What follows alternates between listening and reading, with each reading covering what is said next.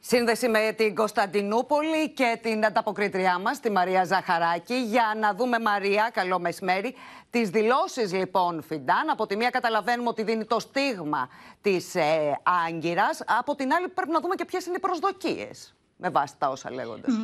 Ε, από τις δηλώσεις του καταλαβαίνουμε ότι γίνεται ουσιαστική συζήτηση καταρχάς ε, Ματίνα για τα ελληνοτουρκικά, για το Αιγαίο και βέβαια η Τουρκία, η Άγκυρα ε, συνέχεια επιμένει ότι έχει βάλει όλα τα θέματα πάνω στο τραπέζι. Ε, πρώτα απ' όλα να πούμε ότι από αυτή τη συνέντευξη που έδωσε χθες το βράδυ ο Τουρκός Υπουργός Εξωτερικών στο φιλοκυβερνητικό κανάλι στο Αχαμπέρ ε, ανακοίνωσε ότι ο Πρωθυπουργός Μητσοτάκης θα επισκεφθεί ξανά την Τουρκία ή τον Ιανουάριο ή τον Φεβρουάριο για το Ανώτατο Στρατηγικό Συμβούλιο προκειμένου έτσι ε, να πάρει ε, αυτή η διμερής επικοινωνία και μια πιο υψηλή ε, κατάσταση να το πούμε. Είναι προγραμματισμένο λοιπόν για αρχές του 2025 και περιέγραψε τη διαδρομή των συνομιλίων κάνοντας λόγο για μια θετική ατμόσφαιρα καταρχάς αν και αναγνώρισε ότι τα προβλήματα είναι πολλά, τα προβλήματα είναι σύνθετα και τα έχουμε κληρονομήσει όπως είπε, ε, από τις προηγούμενες γενιές. Ε, τώρα, σύμφωνα με τον Φιντάν, η, η διπλωματία οφείλει να βρει, όπως είπε, μια ισορροπία μεταξύ της εσωτερικής πολιτικής και της εξωτερικής πολιτικής, γιατί αναγνώρισε ότι και στις δύο χώρες υπάρχει μεγάλη πίεση από την κοινή γνώμη και ειδικά από, στην Ελλάδα, όπως είπε. Και αναφέρθηκε σε μια ενεξελίξη διαδικασία που υπάρχει όσον αφορά τα ζητήματα του, του Αιγαίου.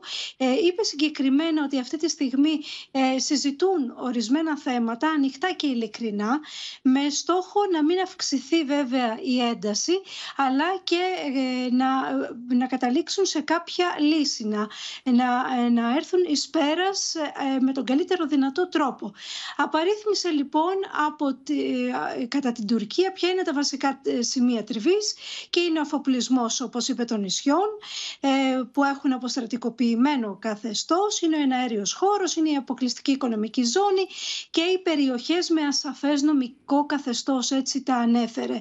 Και ε, αυτό που έκανε εντύπωση είναι ότι είπε ότι υπάρχουν ζητήματα τα οποία στο Αιγαίο, τα οποία βρίσκονται σε εξέλιξη ή ναι. προχωρούν. Υπάρχουν θέματα που τα βάλαμε, και τα βάλαμε είπε και αυτά όλα στο τραπέζι. Και έκανε λόγο ε, τέλος να πούμε και για ένα κοινό σχέδιο με την Ελλάδα που πλησιάζει προς την ολοκλήρωση ολοκλήρωσή ναι. του και αν υλοποιηθεί θα αποτελέσει μια εξαιρετικά σημαντική εξέλιξη και αυτό είναι στο ότι η Τουρκία και η Ελλάδα παρουσίασαν ένα κοινό πακέτο για τη διοίκηση του ΑΣΕ με κοινή υπογραφή και αν προχωρήσει αυτό σημαίνει κατά τον ε, ε, Φιντάν ότι μπορούμε να προχωρήσουμε και σε άλλα θέματα πολύ σοβαρά όπως είναι το Αιγαίο, όπως είναι το Κυπριακό και άλλα ζητήματα που, που θεωρεί η Τουρκία ότι έχει με την Ελλάδα. Είναι αυτά τα, τα θέματα που συνήθως ε, βγάζει η, η Άγκυρα στην ατζέντα. Ναι. Να σε ευχαριστήσουμε πολύ Μαρία Ζαχαράκη.